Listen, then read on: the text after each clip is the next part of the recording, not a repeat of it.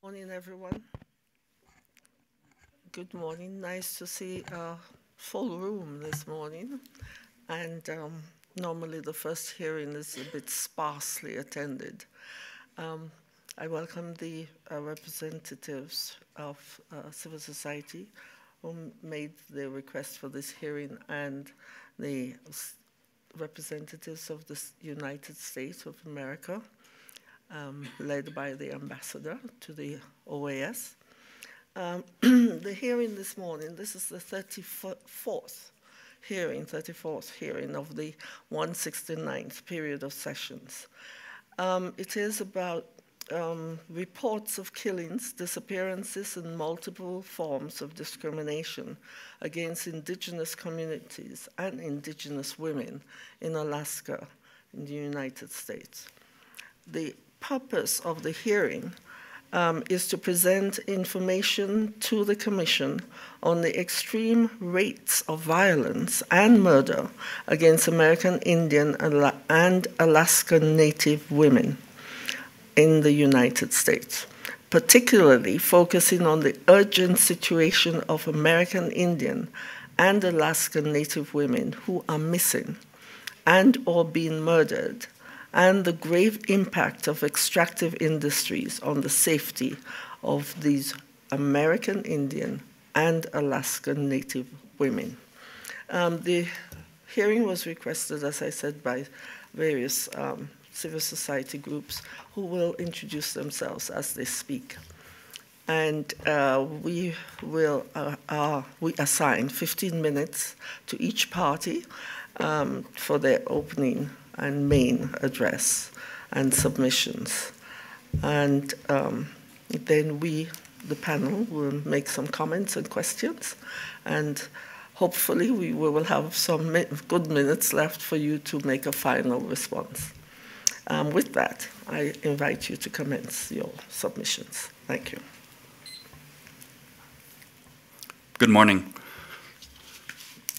Thank you very much to the Commission, and also thank you to the University of Colorado for hosting us this morning. Uh, my name is Chris Foley. I'm a citizen of Cherokee Nation, and I'm a staff attorney at the Indian Law Resource Center. The rights to personal security and freedom from violence are internationally recognized human rights. Both the American and UN declarations on the rights of indigenous peoples explicitly affirm these rights for indigenous women and children and call on states to take and adopt measure in collaboration with indigenous peoples to guarantee that indigenous women and children live lives free of violence. The rights of American Indian and Alaska Native women in the United States, especially their rights to safety, are inextricably linked to the ability of their tribes and nations to exercise self determination and self governance in their lands.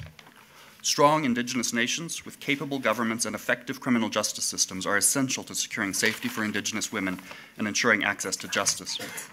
Safe women, women who can exercise their fundamental rights to life, security, and freedom from violence and discrimination, are essential to the well being of our families, our communities, and our nations.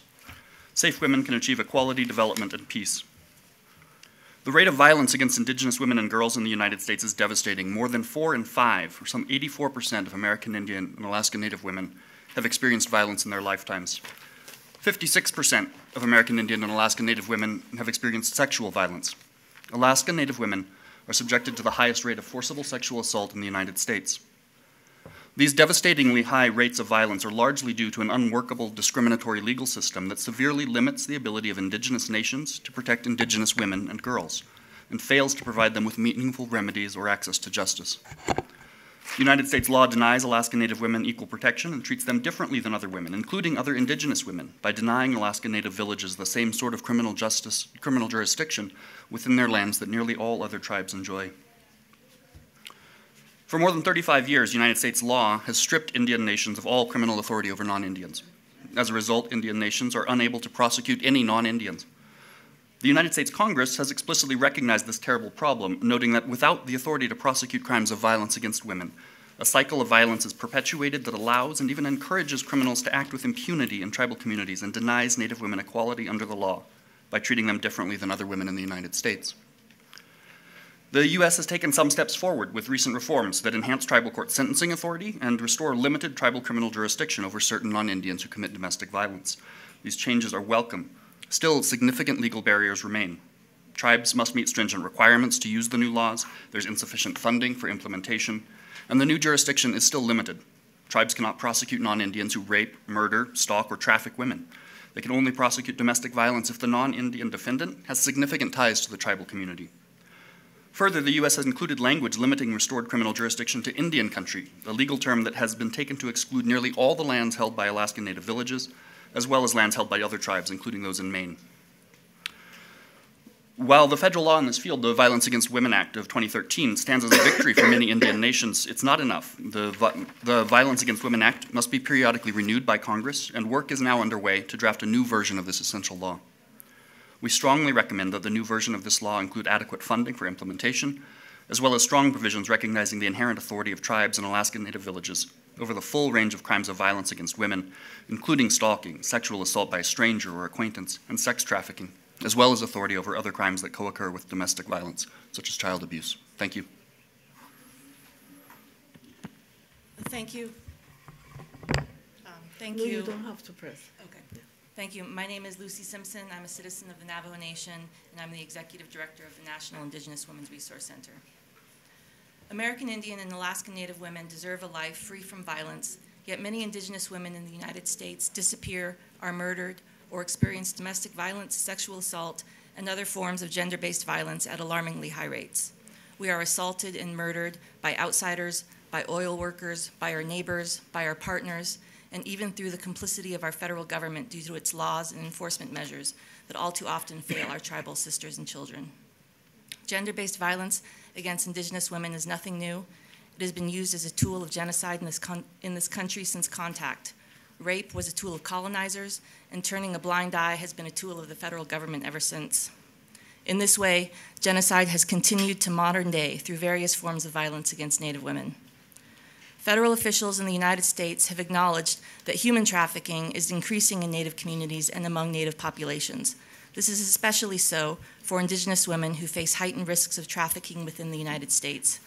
Because a large number of Indian reservations are located on the United States' borders with Canada and Mexico, Indigenous women and girls can be easily targeted and trafficked over either border. Over 60 miles of the United States northern border is classified as Indian country and under tribal jurisdiction. There are six tribes directly on the US Canada border and 24 other tribes within close proximity of the northern border or on the shores of one of the Great Lakes. Another 26 tribes are located along the US Mexico border, our Alaska Native sisters are close to Canada, Russia, and to expanding in international shipping routes as well. Additionally, oil and gas development on and near tribal lands raises the already high risk that Indigenous women will become victims of murder, violence, and sex trafficking. While federal officials have acknowledged the increase, there is little hard data on sex trafficking within the energy development context.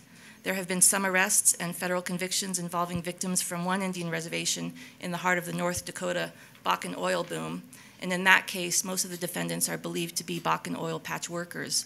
When boomtown patterns draw large numbers of outside workers into close proximity with Native communities, the rise of sex trafficking, sexual violence, and murder also rises. Due to the lack of tribal criminal jurisdiction over the vast majority of these types of crimes committed by non Indians, Indigenous women are denied legal protections by their respective tribal governments.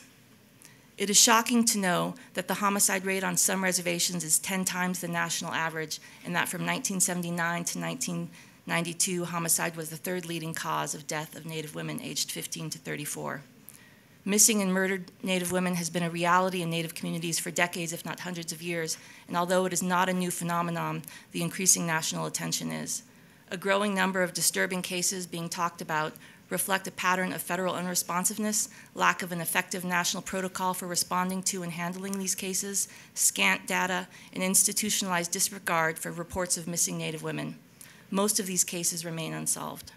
When the United States fails to respond to these reports of missing persons, persons either because the Federal Bureau of, of, Indian Affairs polices the local law enforcement or the Federal Bureau of, of Investigation does not feel the situation requires its involvement, the tribal community has no choice but to conduct their own search for missing women and girls.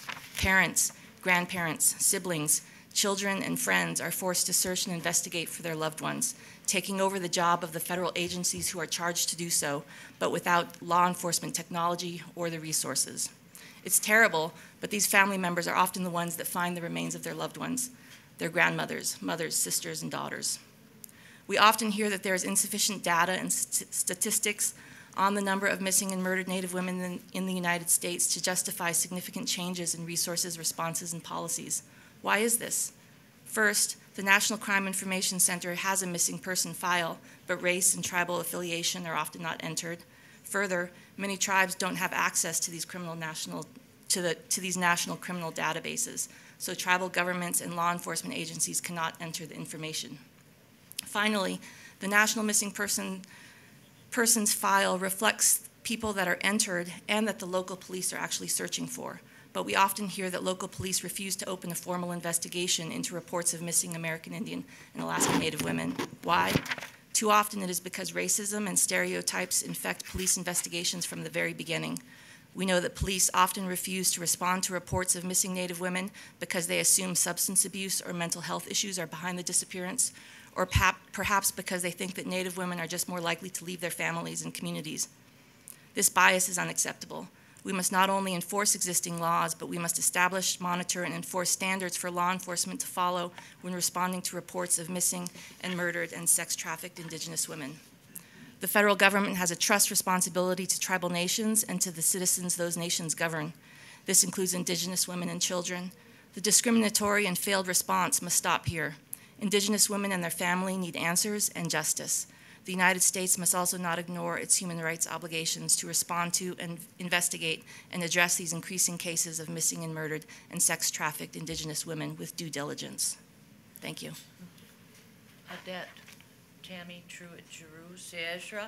I'm an enrolled citizen of the Anvik tribe, a Deg Hit'an Athabasca tribe from the interior of Alaska.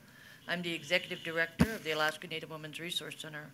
I'm the mother of four children. Three of those are daughters and the grandmother of five. I'm the auntie to many.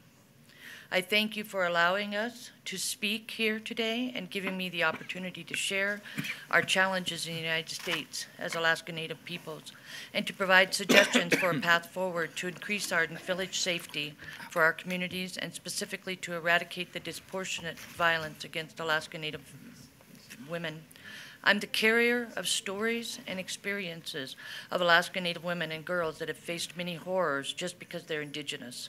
Too many of our relatives have suffered abuse and death because of a government system that fails in their legal and moral responsibility to assist indigenous nations in safeguarding the lives of our women and children.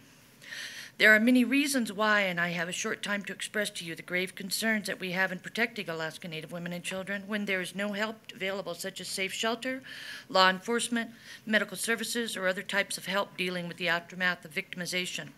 The following are some of the explanations and solutions. The United States has made progress in addressing violence against women. In 2013, during the congressional debates to reauthorize the Violence Against Women Act, the United Nations human rights officials came together and released a public statement calling on the United States to act promptly to pass key reforms to the Violence Against Women Act that bolster indigenous tribes. That the continued jurisdictional gaps, especially those in Alaska, are an ongoing human rights crisis. Sadly, Alaska was mostly left out of those improvements because of its tribal land status that make tribal jurisdiction challenging. Unlike other areas of the United States that share jurisdiction between the U.S. government and Indian tribes, in the state of Alaska, Indian tribes share jurisdiction with the state government. Because of federal state laws, policies, and allocation of resources, tribal responses have been throttled, leaving the investigation and prosecution of crimes, including violence against women and children, to the state. Alaska, like the federal government, has failed in providing for public safety in Alaska Native villages. Nearly 40% of our villages are without law enforcement, and when available, they can be days away. Local control to local solutions and resources is critical to improving the situation for our Alaska Native brothers and sisters. We call on the United States for a jurisdictional fix to the Alaska Native Indian country issue and regular and consistent tribal justice funding. According to the 2013 Tribal Law and Order Commission report, Alaska Native women are overrepresented in the domestic violence victim population by 250 percent. They comprise only 19% of the population of the state of Alaska, but 47% of those reported rape reports are Alaska Native victims. And among the other Indian tribes, Alaska Native women suffer the highest rates of domestic and sexual violence in our country. There is unique opportunity to recognize these issues and make corrections to the law. In Deg Hit'an Athabascan, as with other language groups in Alaska, we have no words or description for violence within our family home.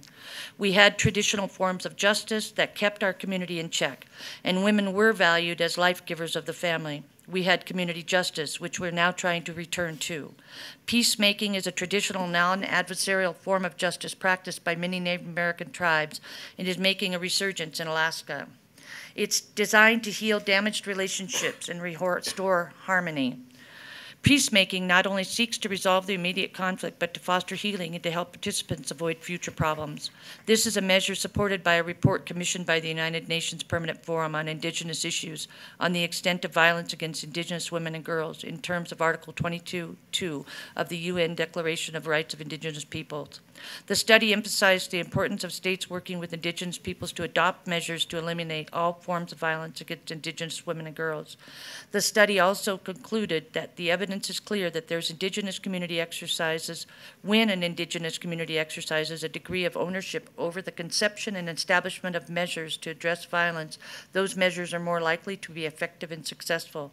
The report further noted the partnership approach between Indigenous communities and states are more likely to succeed in tackling violence when solely state devised programs. We need to move forward with these recommendations and partnerships and ensure that Alaska Native tribal nations are no longer exempted from continued progress. The federally funded the United States has created funding programs, and in recent years, thanks to the Bureau of Indian Affairs, Alaska Native tribes are getting much needed funding for tribal justice infrastructure and resources. While progress is gradual, it's happening in meaningful ways. The federally funded Alaska Native Women's Resource Center through the Office of Violence Against Women, U.S. Department of Justice, and the Family Violence Prevention and Services Office, U.S. Department of Health and Human Services, is providing meaningful village engagement sessions with Alaska tribes to help with identifying the resources within each tribe to address violence against women in their own voices, languages, and teachings. We have seven distinct language groups in Alaska. We've created a unique theme to each engagement session to work with the tribes towards restoring balance in their community. Um, the Tribal Law and Order Commission Act specifically recommended a legislative fix for the U.S. Supreme Court Venetie decision, which is a policy and law that has created much Excuse me, one, excuse me one moment. Do you need to, do you wish to request additional time? No, I can complete that. Thank you very much. Um, I now invite the representatives of the illustrious state of the United, United States of America to make their first intervention. Thank you. Good morning, distinguished commissioners, civil society friends, advocates, Secretary General colleagues. My name is Carlos Trujillo, and I'm the U.S. Ambassador to the Organization of American States. I would like to begin by acknowledging the important work of the Commission to advance human rights in the Western Hemisphere. The United States remains committed to supporting your work, and it's honor, it's, and it's an honor to appear here before you today.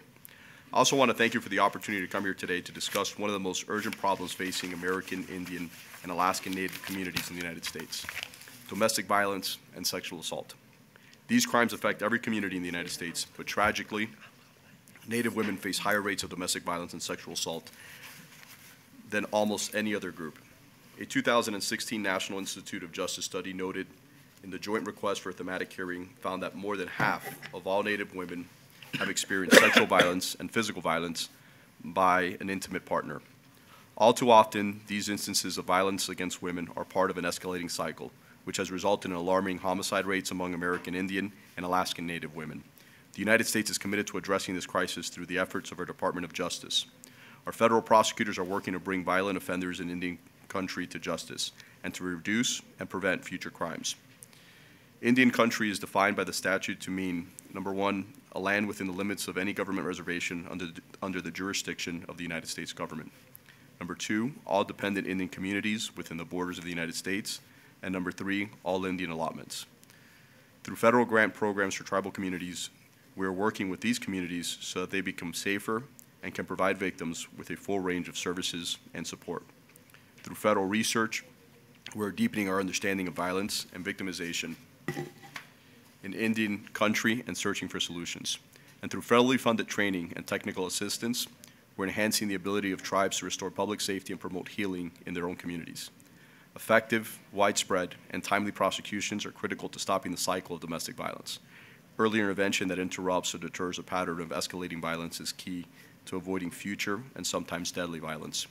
The Department of Justice has prosecuted an increasing number of habitual offenders in Indian country under a federal statute enacted in 2005, which focuses on domestic assaults by offenders with at least two prior convictions for any domestic assault in a federal, state, or tribal court. Case management data shows the numbers of defendants indicted under this provision grew from 12 in fiscal year 2010 to 33 in fiscal year 2016 and to 41 in fiscal year 2017. 42 have been indicted thus far in fiscal year 18 as of August 31st. The Violence Against Women Act of 2013 recognizes the importance of imposing serious sentences in cases of intimate partner violence and involving strangulation or that result in serious bodily injury by amending the federal stat assault statute, which is used to prosecute assaultants in Indian country. Since then, prosecutions of these crimes have remained an important priority for United States Attorney's Office. In calendar year 2014, federal prosecutors charged 72 defendants under VAWA 2013's Enhanced Federal Assault Statute. By calendar year 2016 and 2017, that number has nearly doubled to 143 defendants and 139 defendants, respectively.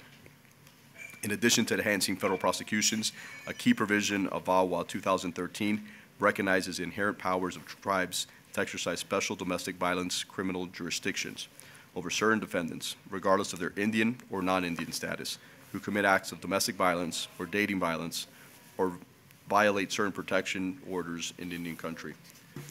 The Department of Justice supports the work of these tribes, these tribes exploring and implementing SDVCJ through the formation of an Intertribal Technical Assistance Working Group, or SDVCJ, a training and technical assistance award to the National Congress of American Indians and the grant program. To date, 21 tribes have reported to the NCAI that they have implemented SDVCJ. In government-to-government consultations with tribes, the United States has heard from tribal leaders about the need for robust prosecution of offenders and investigators involving missing women and human trafficking cases. The Department of Justice has heard these concerns by prioritizing reduction of violent crimes and addressing public safety issues such as trafficking of Native girls and the disappearance and murder of Native women. One of the primary challenges in this area is ensuring that there are enough prosecutors to hold perpetrators accountable. To that end, the Department of Justice's Office of Violence Against Women, since 2012, has funded Violence Against Women Tribal Special Assistant U.S. Attorneys.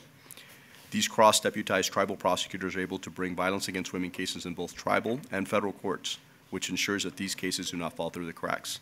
Building on the success of its original pilot program, OVW has relaunched the Tribal SAUSA project this year with improvements based on feedback from tribes and the United States attorneys. OVW is using a fellowship model to help attract qualified attorneys who will make a three-year commitment to prosecute crimes of sexual assault, domestic violence, dating violence, and stalking in both tribal and federal courts. Sex trafficking cases that involve one of these four victims, one of these four crimes also may be prosecuted by the tribal SAUSA under the grant. Special training for tribal SAUSA will be provided through the Department of Justice National Indian Country Training Initiative. OVW also has supported training and technical assistance on identifying trafficking cases and ensuring that victims receive needed services. With the funding from OVJ in 2018, the Minnesota Indian Women's Sexual Assault Coalition held their first ever national conference on sexual trafficking in Indian country. OVW is also funding the Tribal Coalition to provide basic and advanced training for tribal service providers and justice systems personnel on sex trafficking and its intersection with the problem of missing and murdered American Indian and Alaskan Native women and youth. The department's Office for Victims of Crimes Project Beacon Fund organizes providing urban American Indian and Alaskan Native victims of sexual trafficking with culturally appropriate, comprehensive victim services. And the Department of Justice National Indian Country Training Initiative, Training Initiative regularly offers training for federal, tribal, and state criminal justice personnel on the investigation and prosecuting human trafficking in Indian countries.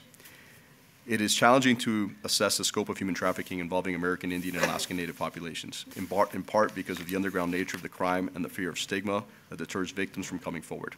The United States, therefore, cannot at this time know whether the trafficking has increased among Native populations. However, the Department of Justice National Institute of Justice remains committed to funding research and evaluation in this area and is seeking perspectives on human traffickings in tribal communities from respondents as part of its national baseline study. This year's study is being conducted in geographically dispersed tribal communities across the United States, including Alaska, using an NIJ-developed sampling strategy for which the primary aim is to provide an accurate nationalized victimization rate of violence committed against American Indian and American Native women living in, in Indian country and Alaskan Native villages. The study is critical to qualifying the magnitude of violence and victimization in tribal communities and understanding services needed. The National Baseline Study is part of a broader program of research on violence against Indian women in Indian country and Alaskan Native villages. These studies are expected to deepen our understanding of issues faced by American Indian and Alaskan Native women and help to formulate public policies and prevention strategies to decrease violence, violent crimes committed against Native women. The United States recognizes the importance of seeking advice from tribal experts about research in Indian country.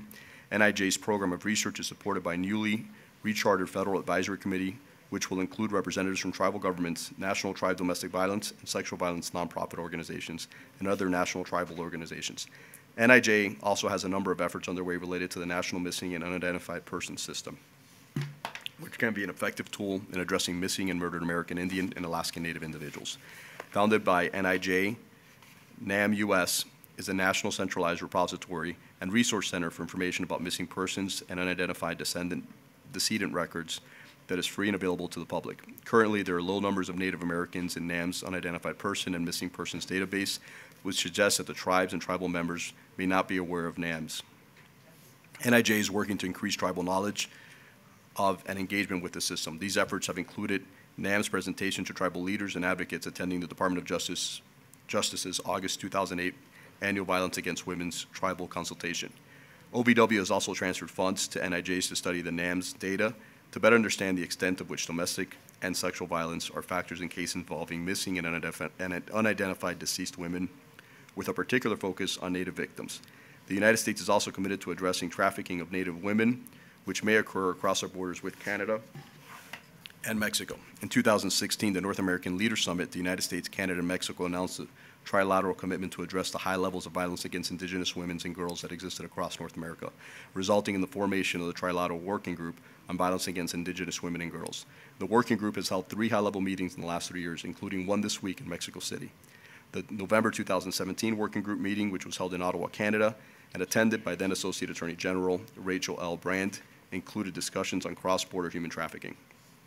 In addition, in another important initiative to improve public safety in an Indian country, the Department of Justice is expanding its tribal access program for national crime information.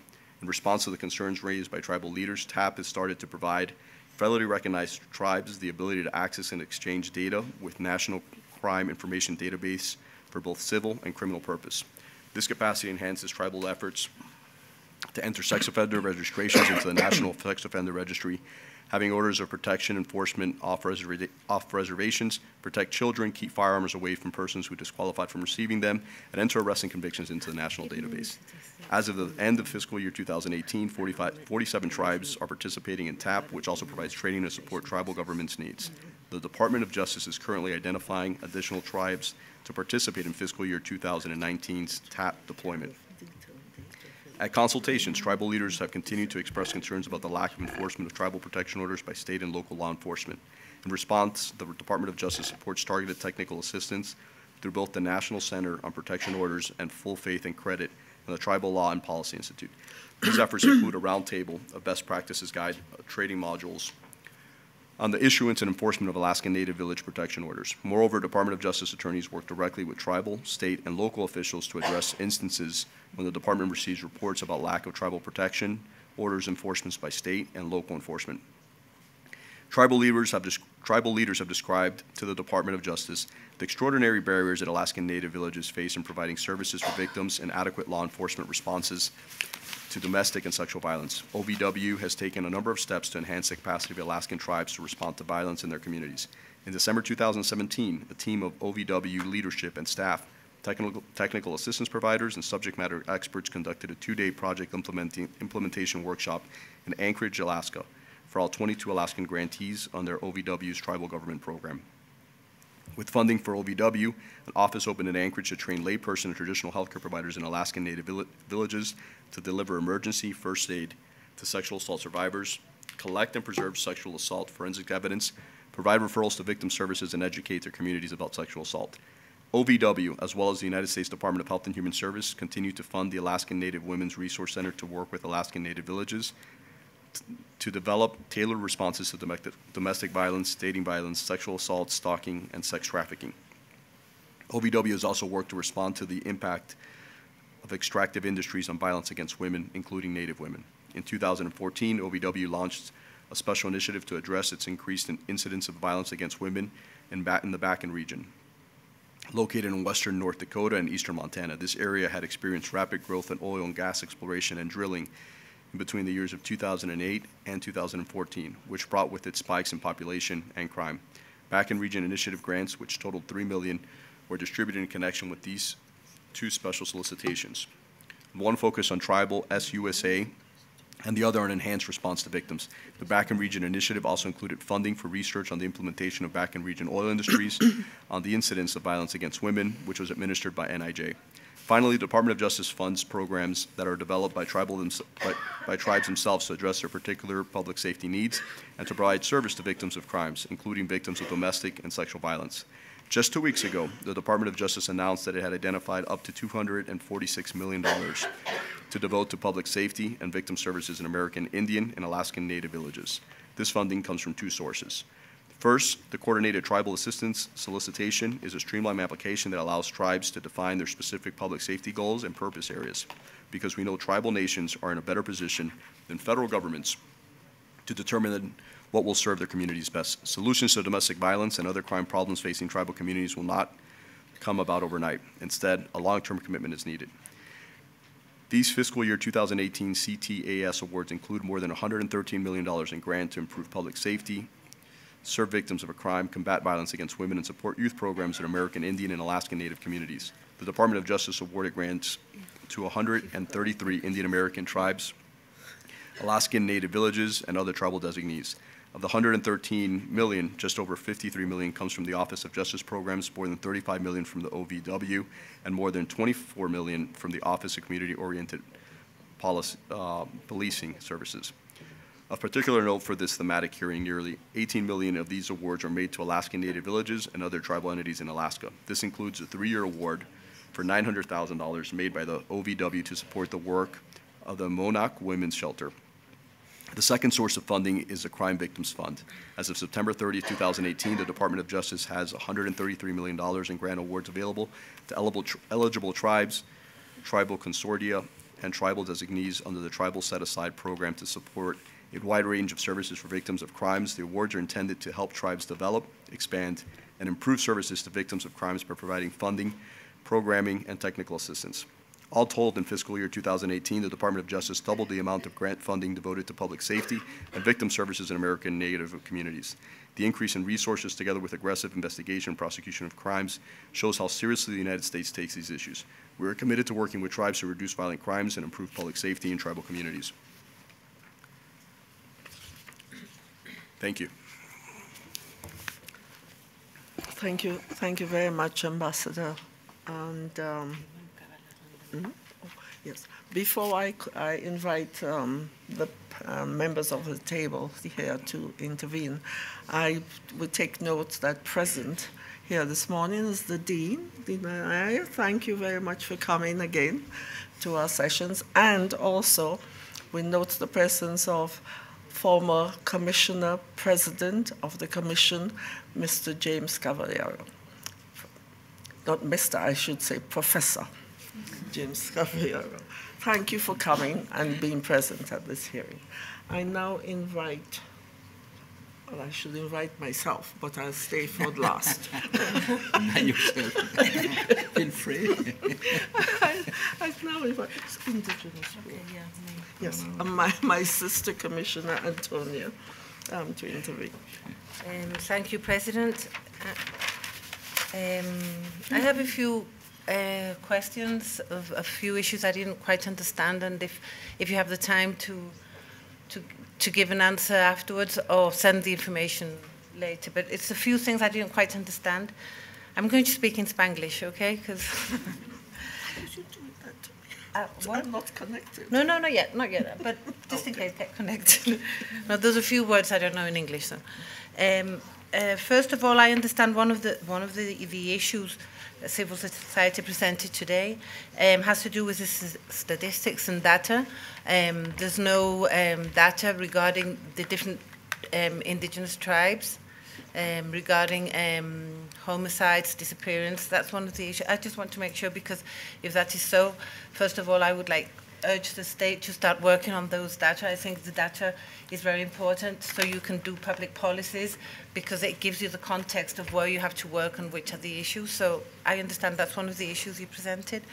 Um, secondly, um, you talked about Violence Against Women Act 2013, and I understand one of the issues is that um, tribal jurisdic- jurisdiction cannot process non-Indians if they are responsible of domestic violence. There's a few exceptions, I think, but one of the demands you're doing today is the possibility to, to enable.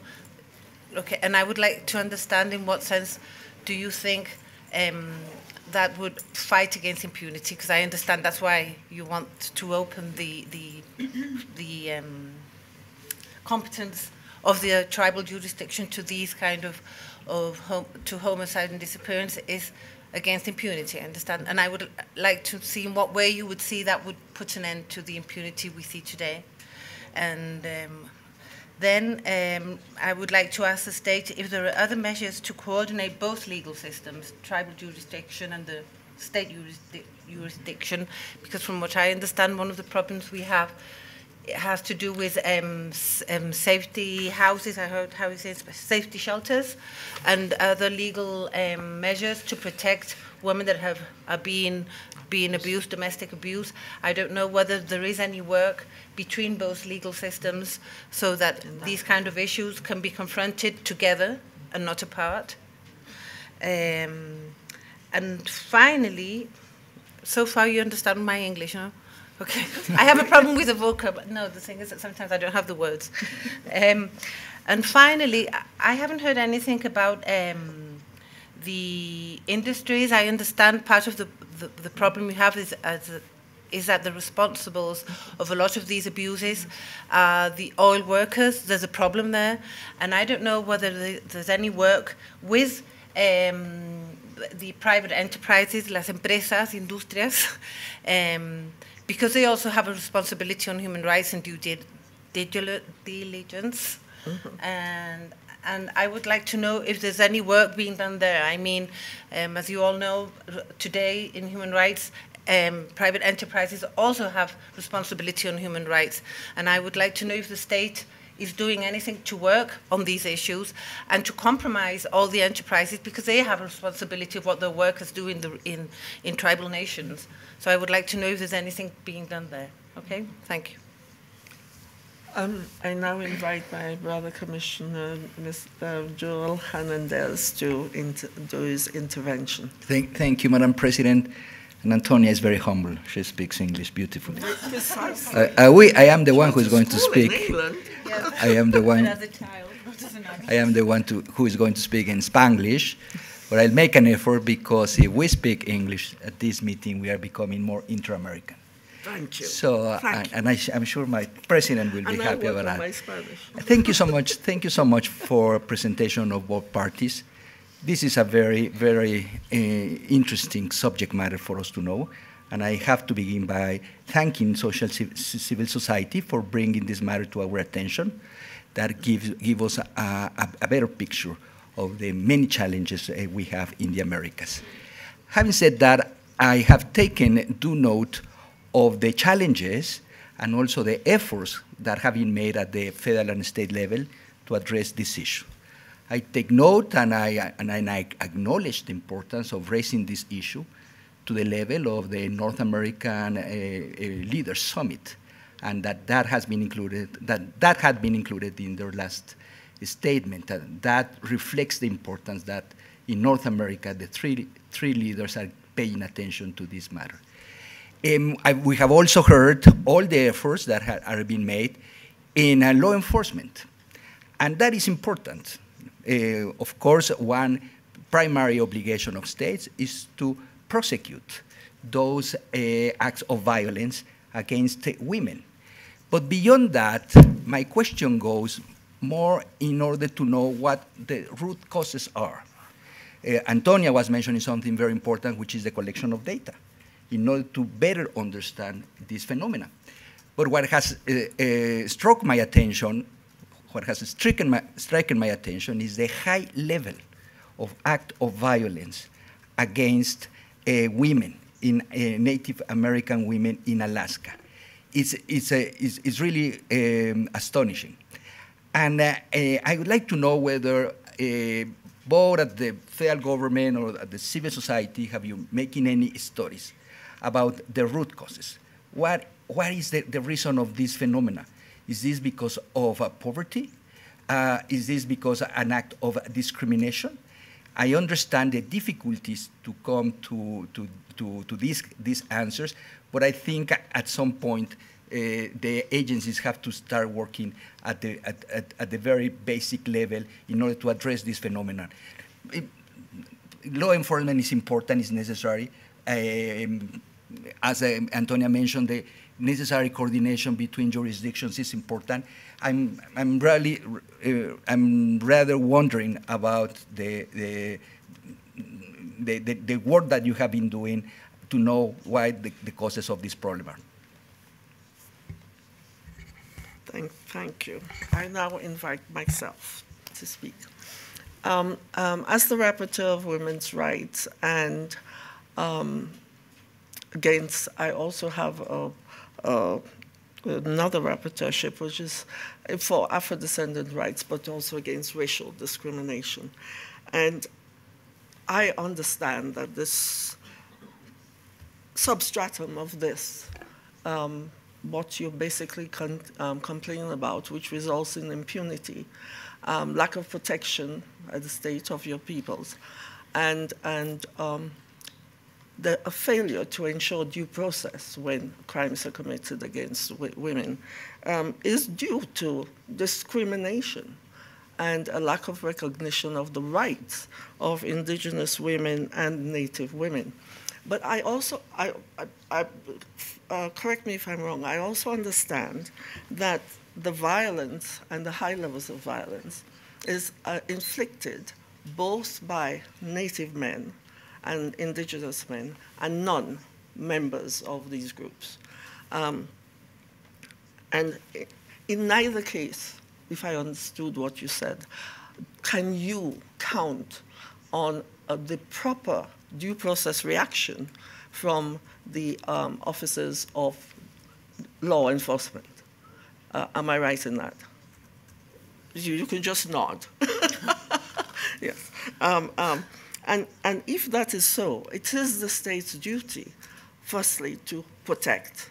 And then, if the protection fails and there are violations, they must ensure that, that the law enforcement agents act and with due expedition when it's uh, violence against women, sexual violence and, and trafficking and disappearance and so on. That has been decided and established by the Inter-American Court when happily when I was a member and part of and did the, did the Locus Classicus case there. It is an accepted act. And, and this has to be assured. I heard from the state that there is I think you mentioned some organization called NAN or something like that, and um, which which you said um, was not being used by the um, um, native persons and indigenous persons, and it may be that they do not know about it. But if that is so, that is the state's failure, because it's the state's duty and obligation to inform the citizens what uh, um, me mechanisms exist that they can use either for their safety for or for to proceed to ensure that they receive due uh, and are engaged in due process um, when when um, this happens. And um, I. Yes.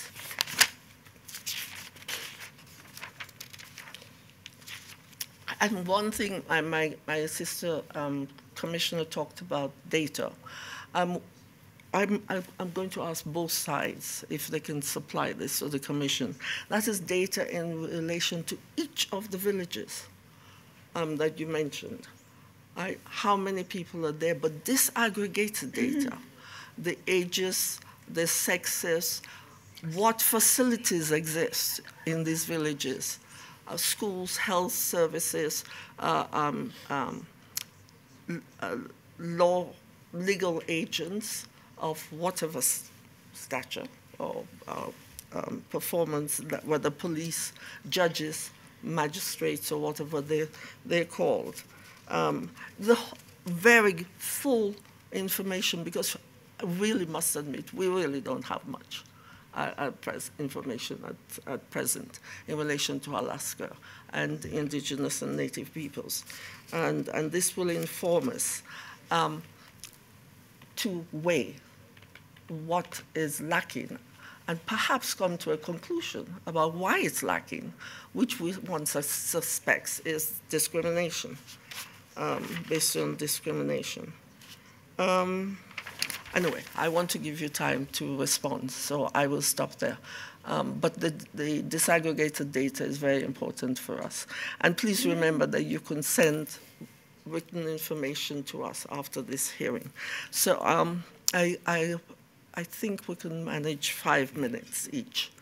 Um, not much, but something can be said in focus. So thank you, please, um, representatives. Yes. Thank you. Um, in five minutes, I think that I'll begin by uh, listing a couple of the recommendations, or going through a couple of recommendations that we have specifically uh, made. Um, and I'll focus on some of the law reform issues that we see, uh, things that we think that the federal government can and should do to reform U.S. law to better protect American Indian and Alaskan Native women.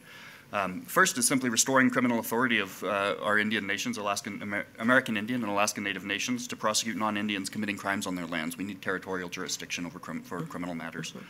Secondly, uh, reauthorizing and strengthening the Violence Against Women Act. That work is going on now, all, and also the Tribal Law and Order Act, um, to make sure that there's sufficient funding for these acts, for the implementation, and to make sure that the Violence Against Women Act cover, is sufficiently broad that it covers the crimes that need to be covered. Um, and thirdly, uh, we need to uh, create a permanent mandate uh, within what's called the Victim of Crimes Act. Uh, this act is the largest source of federal funding for crime victims in the United States. Currently, as it is written, uh, tribes don't have uh, guaranteed access to that fund. Um, there have been some temporary fixes, and those are very good and very welcome, um, but we need to have permanent funding there so that victims in Indian country get, the, get the victim services that they need when, the, when crimes occur. So those are three very concrete uh, legislative fixes that could happen uh, that would greatly improve uh, the situation in Indian country. Thank you. Going on with that, with some other recommendations um, regarding the federal response to missing and murdered Indigenous women, um, there needs to be uh, some immediate reforms to um, include the development of standardized law, standardized law enforcement and justice protocols to serve as guidelines for law enforcement agencies who are responding to cases of missing and murdered Indigenous women. And these um, uh, protocols and um, guidelines need to be done in coordination with uh, tribes um, and um, those people on the ground. It shouldn't come from the top down.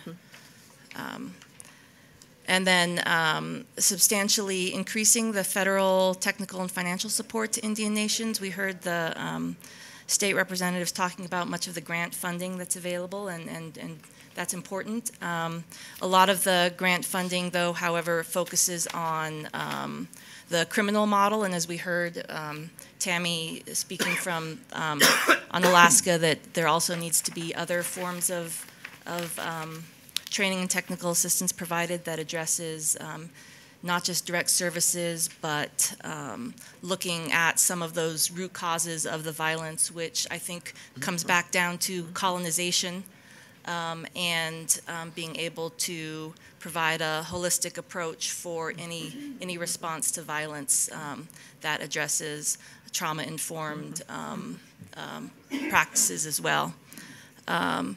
And uh, creating a forum for dialogue, collaboration, and cooperation among tribal courts, federal courts, and state courts, as well as the agencies within those, um, those jurisdictions on the issue of violence against indigenous women on um, tribal lands, as well as Alaska Native lands, and how the criminal jurisdictional scheme under United States law unjustly discriminates against indigenous women. Those are some recommendations.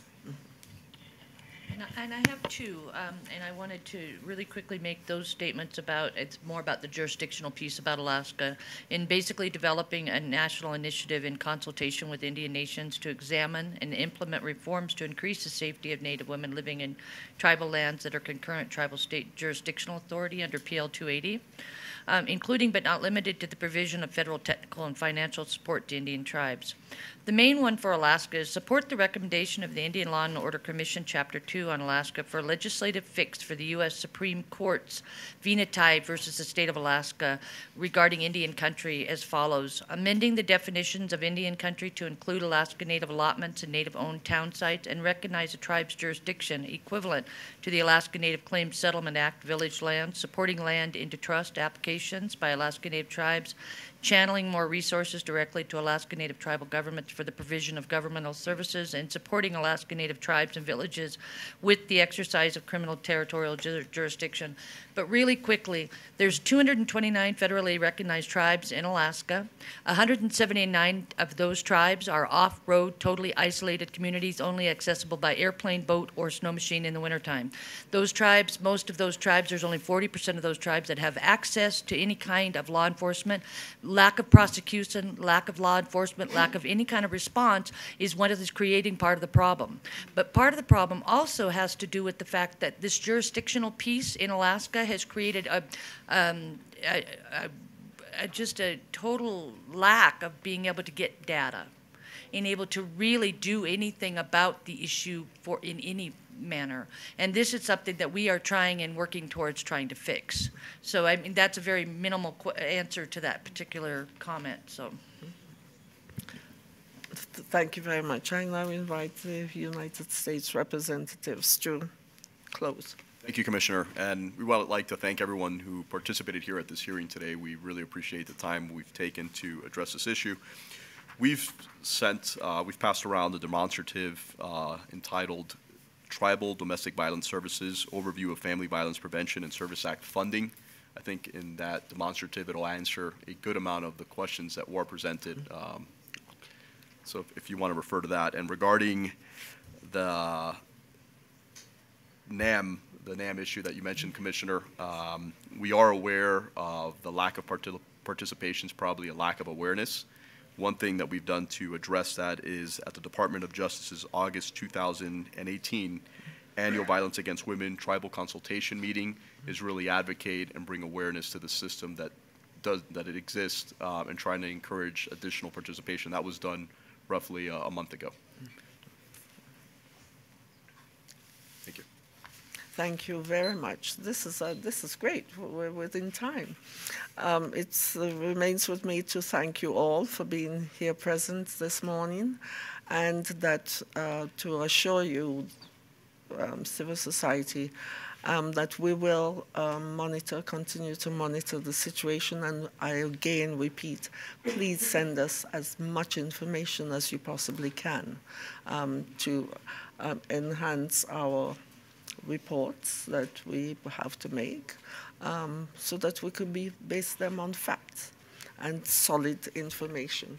And we will continue to assist you in any way that we can with the state. If I could just ask the state to please ensure that all policies, plans, protocols, mechanisms which are being considered and set up in relation to these peoples, they must participate in the um, elaboration of those those plans, and and perhaps to have ensured that whoever is in position of authority there has frequent meetings with civil society there as well, who are generally the only spokesperson for for the vulnerable um, um, members of, of the communities, and I know you you would pass that on, and I thank you for that. So thank, thank you all of you. Thanks to the interpreters, and thank you members of the public who sat through the hearing. The next hearing will start in five minutes. Thank you.